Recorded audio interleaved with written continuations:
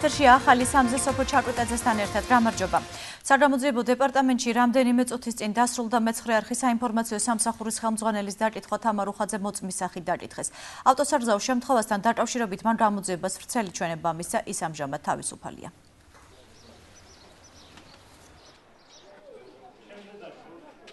დაბარებული ვიყავით ავტოსაგზაო შემთხვევაზე, რომელიც მოხდა გვიან ღამით.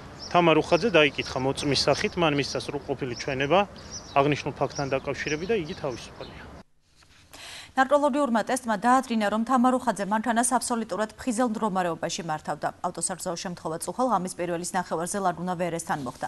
სობაროს მარკის ავტომობილი, რომელსაც მეცხრე არხის საინფორმაციო სამსახურის ხელმძღვანელი თამარუხაძე მართავდა, ფეხით მოსიარულეს დაეჯახა.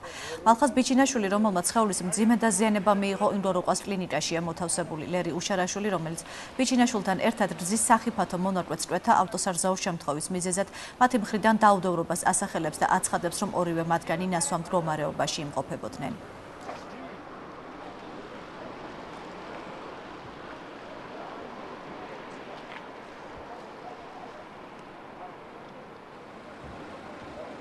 ვივა უნდა დაგველივნა. მოვდიოდით და ნასვები ვიღავით და გვერდიდან გამიქრაუზე. სად იყავით? სად მოხდა ეს? აი როგორც გადმოვედით, აი როგორც გადმოვედით, ახლა ნასვამი ვარდო. თქვენ თანხლების ნასვამი იყო? ხო.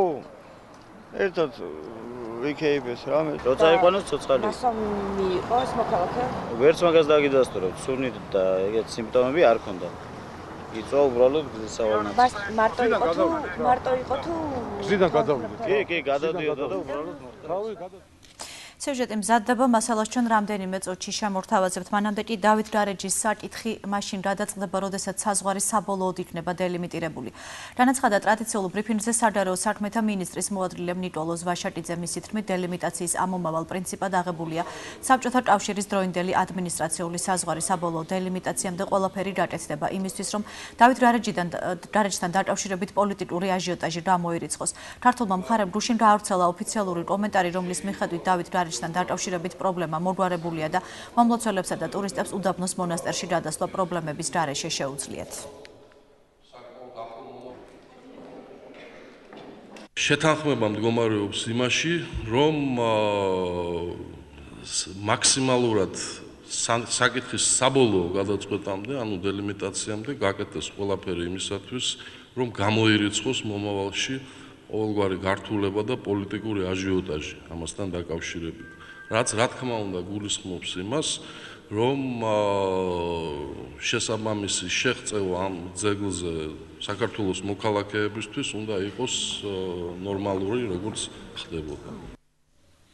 დავიბრუნოთ დავით გარეჯი. გარეჯის საქართველოა. დაიცავი შენი წილი საქართველო ასე დააპროტესტეს ვატის პარკში შეტრებულმა შავფაროსნებმა და სტუდენტურმა ხმამ დავით გარეჯის ირგვლივ შერქმელი პრობლემები და სადარო საქმეთა სამინისტროს განცხადება. გუშინ ვატის პარკში გამართულ აქციაზე 1000-ზე მეტი მხარდამჭერი შეიკრიბა ვატის პარკიდან მათ მშვიდობიანი მსვლელობა სადარო საქმეთა სამინისტრომდე გამართეს. აქციის მონაწილეები თანამდებობიდან ინო კალანდაძის გადაყენებას მოითხოვენ. დღეს დილიდან გარეჯის მონასტრის ლავრიდან მონასტერ უდაბნოსკენ სასულიერო პირებისა და მომლოცველების მსვლელობა მიმდინარეობს მდებარეობს. ლოცვითი მსვლელობა რამდენიმე დღის წინ დაიჯერმა და როგორც მაშინით რომ თავარი მოთხოვნა აღდგეს 6 მაისამდე არსებული მდგომარეობა და ქართულ მომლოცველებს მიეცეთ მონასტერ უდაბნოს ტერიტორიაზე შესვლის უფლება.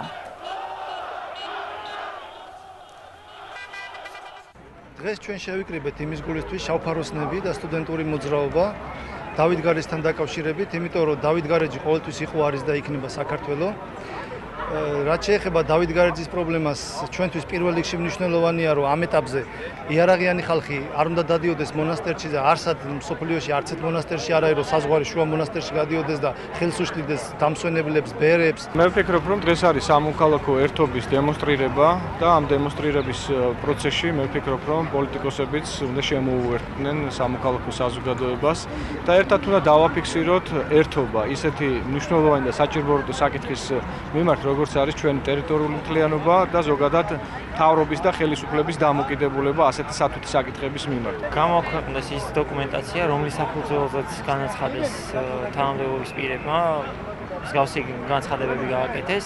ხოლო მეორე მოთხოვნა არის გახდეს ცნობილი იმ ლაპარაკებების შესახებ ინფორმაცია გავრცელდეს, რაც აქამდე მიმდინარეობდა აზერბაიჯანულ და ქართულ მხარეს შორის დავითგარეჯთან მიმართებაში.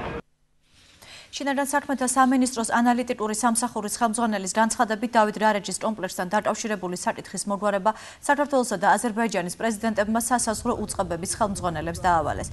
უტეშვილის ინფორმაციით რუშინ დაიმართა შეხვედრა საქართველოს სასაზღვრო პოლიციის ხელმძღვანელ ზაზა გოგავასა და მის აზერბაიჯანელ კოლეგას შორის. უტიაშვილის ცნობით შეხვედრაზე მხარეები შეთანხმდნენ, რომ სამონასტრო კომპლექსის მთელ ტერიტორიაზე როგორც საქართველოს მოქალაქეებს, ისე უცხოელ ტურისტებს დაუბრკოლებლად შეუშვებენ.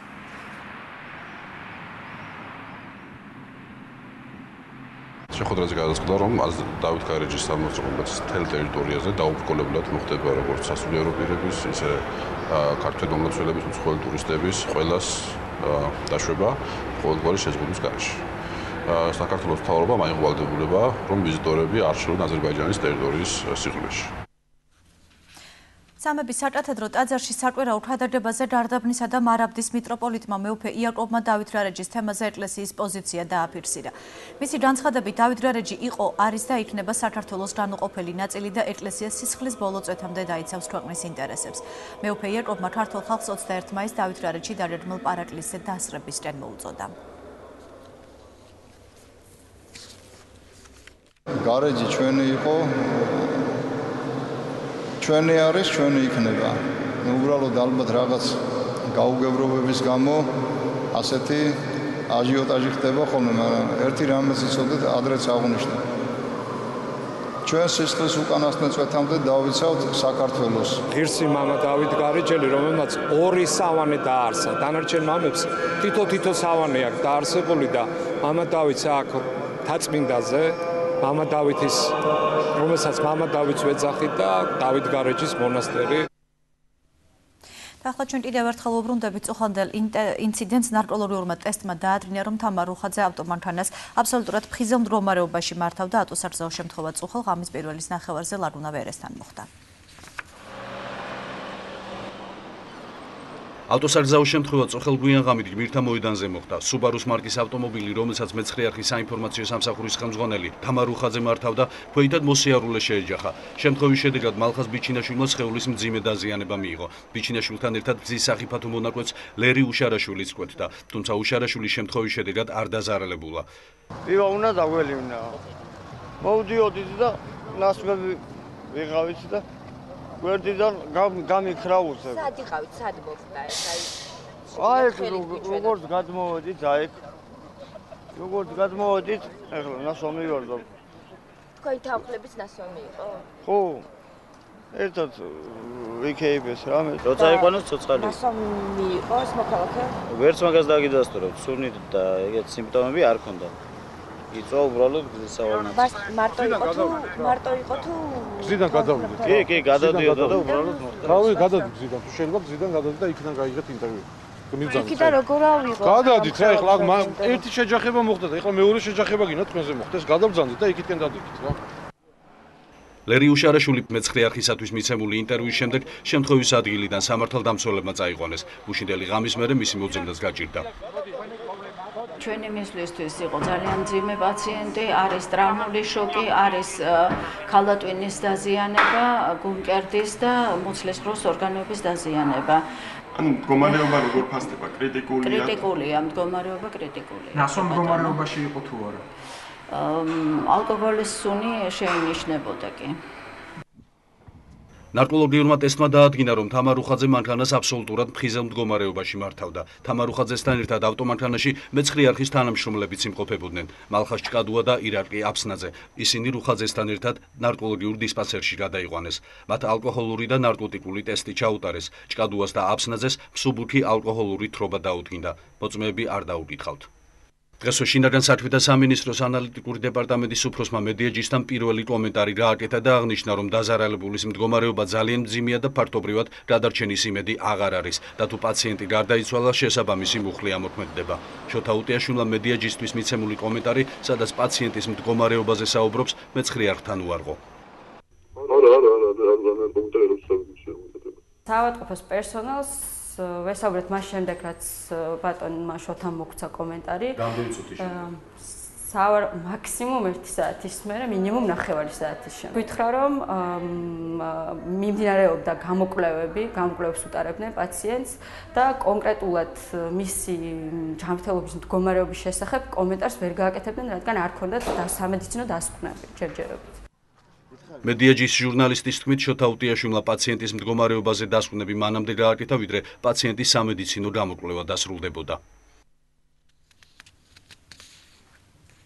ტელეკომპანია პირველი სტერეოსა და სტერეო პლუსის თანამშრომლებს ტელეკომპანიის ოფისში კლავარუშებენ. პირველი სტერეოს ყოფილი ხელმძღვანელის დავით ზილფიმიანის განცხადებით, დაცვის სამსახური მგლების წარმომადგენლები დაპირების მიუხედავად არც ერთ თანამშრომელს შენობაში არ უშვებენ. ისინი შესაბამისი სიით მხოლოდ გეოფიზიკის ინსტიტუტის თანამშრომლებს ატარებენ, რომლის შენობაშიც პირველი სტერეო და სტერეო პლუსია განთავსებული. დაცვის სამსახურის წარმომადგენლების თქმით, 3 საათზე ოფისში ელოდებიან პირველი სტერეოს ახალი დირექტორის ვასილ კობაიძის წარმომადგენელს გიორგი ყავლაშვილს, რომლის რომლის რანაც შესაბამის მითითებას მიიღებენ და მხოლოდ ამის შემდეგ გადაწყდება შეუშვებენ თუ არა შენობაში ტელეკომპანიის თანამშრომლებს. ჩემ თანამშრომლებს ვეტყვი რომ არავითარ შემთხვევაში არავითარ პროვოკაციას არ აყვნენ, არავითარ შემთხვევაში ფიზიკურ კონტაქტზე არ წავიდნენ პროფესიონალ რაზმელებთან. რაც შეეხება ჩემს ქმედებას, მე ვაგრძელებ ბრძოლას ყველა კანონიერი გზით. დილით შეულებრივად სამსახურში მოვედით, ჩვენ ჩვენ მოვალეობას ვასრულებთ, მუშაობთ ტელეკომპანია პირველ სტერეოში. მაგრამ სამწუხაროა ის, რომ შიგნით ვერ შევდივართ. კონტაქტი არანაირი არ გქონია საერთოდ. თიანეთის პოლიციის თანამშრომლებმა გუშინ კახეთის საინფორმაციო ცენტრის ჟურნალისტი დელამ თიuliშვილი დააკავეს. როგორც მთიuliშვილი ყოფა რაიონში რეპორტაჟის მოსამზადებლად დავიდა პოლიციის შენობის გადაღების დროს ტი ჟურნალისტი სამოქალაქო ფორმაში ჩაცმულმა პირმა ძალის გამოყენებით შენობაში შეიყვანა და აპარატურა წაართვა. თიulishვილის განცხადებით მიუხედავად იმისა, რომ ის ერთიმის დახმარებას ითხოვდა ფიზიკური და სიტყვიერი შეურაცხყოფის შემდეგ თიანეთის პოლიციის უფროსის მოადრილე მამუკა შალამბერიძემ შენობიდან ძალის გამოყენებით გამოართო. დელამ თიuliშვილი ადრილობრივ ადრილობრივ ადგილობრივებმა ნერვული შეტევით თიანეთის საავადმყოფოში გადაიყვანეს. რაღაცა ისე დამამცირებელი ანდრამი არ მიმიღია და ამის აღიარება გავებული ხარ პოლიციის თანამშრომლებისთვის წინააღმდეგობის გაწევის ბრანდებით. რაში გამოიხატა ჩემ წინააღმდეგობა? მოწვევა რომ წარ მოგთხოვე წარმოგედგინე თუ და ну ლაპარაკს აზრი არ ქონდა იმიტომ აბსოლუტურად უკანონოდ მიდიოდა მათი მინდა ყველანაირი საქციელი. მე მაშინ მოვითხოვე რომ უკვე მივხვდი რომ ვიხავი ცუდ მდგომარეობაში აღმოჩენილი და მოვითხოვე ადვოკატი მაგრამ ვინ დამარეგინა ადვოკატთან? ტელეფონი წამართოს მაშინვე კამერა როგორც შევიყვანეთ მაშინვე ჩამომგილიჯეს დაუძახა ვიღაცა ტიპს რომ მოიყვანეთ ეს ბიჭო რომელმაც ეს კამერა იცისო და ბოლოს როცა ინციდენტი დამთავრდა კამერა დამებრუნეს მე წაშლილი კადრებით ჟურნალისტური ეთიკის ქარტიამ ზურდიჩის საჯარო შეხვედრა გამართა ქარტიის საბჭოს თავმჯდომარემ ზვიად თორიძემ და საბჭოს წევრებმა მედიისა და არასამთავრობო ორგანიზაციების წარმომადგენლებთან შეხვედრაზე მედიაში არსებულ პრობლემებზე იმსჯელეს. შეხვედრაზე განიხილეს ქარტიის ფარგლებში არსებული რეაგირების მექანიზმები და რეგიონში ჟურნალისტებზე ზეწოლის ფაქტები. ჟურნალისტური ქარტიის საბჭომ შეხვედრები ასევე გამართა თელავში, გორსა და ფოთში. ანალოგიური შეხვედრები იგეგმება ქუთაისსა და ბათუმშიც. კონტაქტი უნდა იყოს მოქალაქეებსა და ჟურნალისტებს შორის, ყოველ ეს გახდის ჩვენს მედია გარემოს უფრო მეტად ჯანსაღი. საკმაოდ წარმომადგენლობითი ჯგუფია საზოგადოების ამოსული მედიიდან არასამთავრობო სექტორიდან, მოქალაქეები, ახალგაზრდები, სტუდენტები, რომელთაც აინტერესებს ის პრობლემატიკა, რომელიც დგას ხოლმე საზოგადოების წინაშე. თუმცა საზოგადოება არის მედიის მთავარი მომხმარებელი.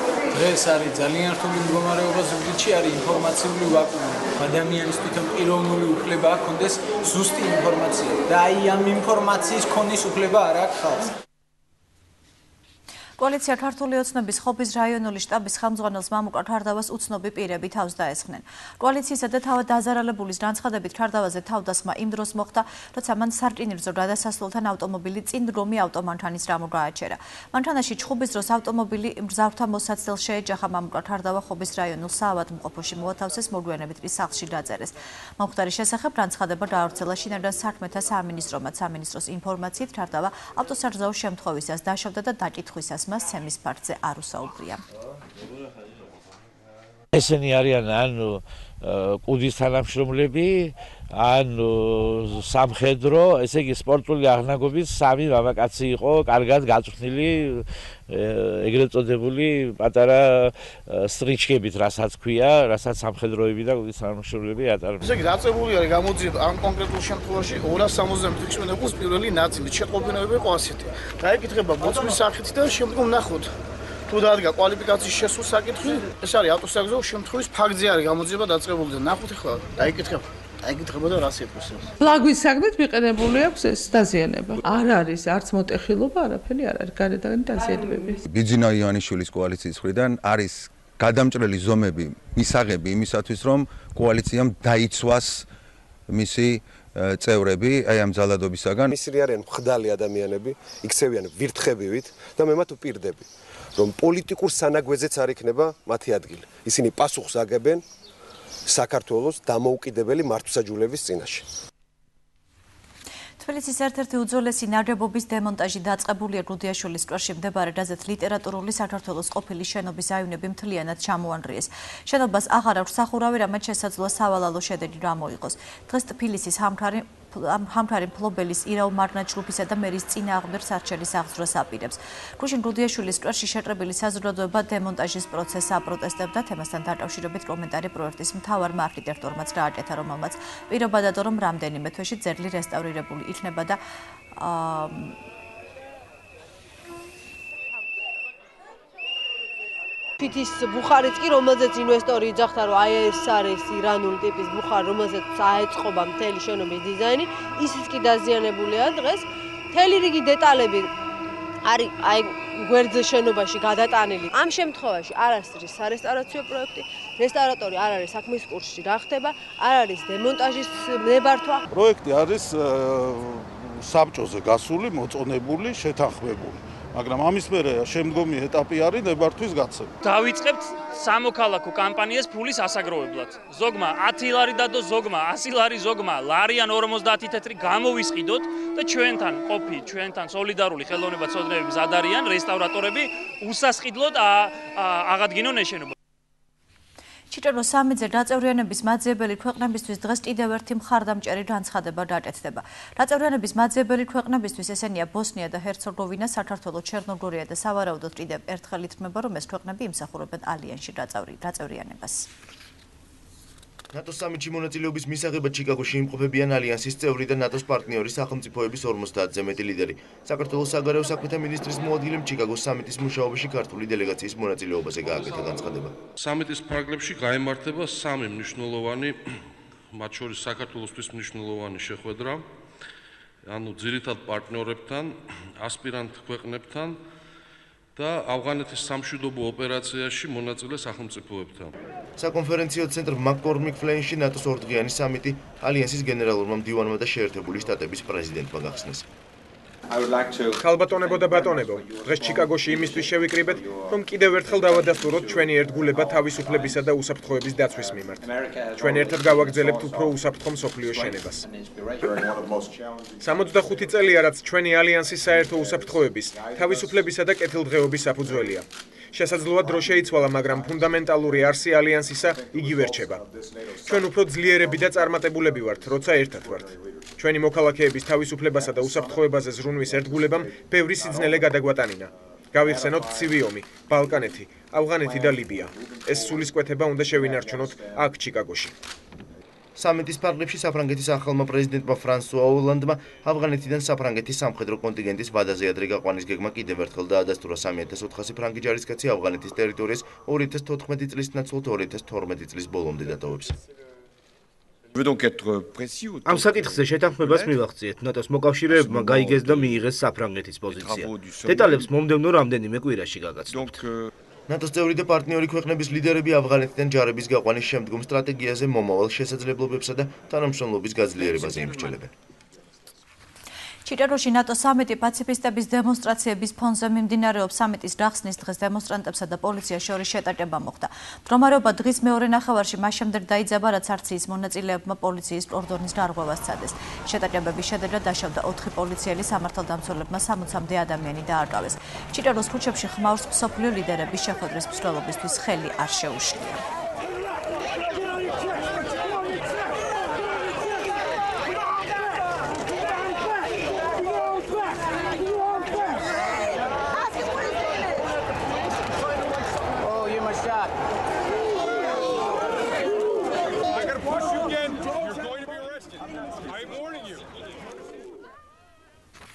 სანამ ნატოს წევრი ქვეყნების ლიდერები მსოფლიოს უსაფრთხოების საკითხებზე მსჯელობენ მათ მეუღლებს შეერთებული შტატების პირველი ლედი ჩიკაგოში დიდობას უწევს.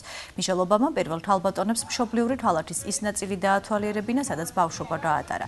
ისინი ახალგაზრდულ ცენტრს ეწვივნენ, რომელიც ტანვარჯიშის დარბაზ, ცეკვისა და თეატრის სტუდიებს აერთიანებს. საგანმანათლებლო ცენტრის მოსწავლეები ძირითადად დაბალშემოსავლიანი ოჯახებიდან არიან.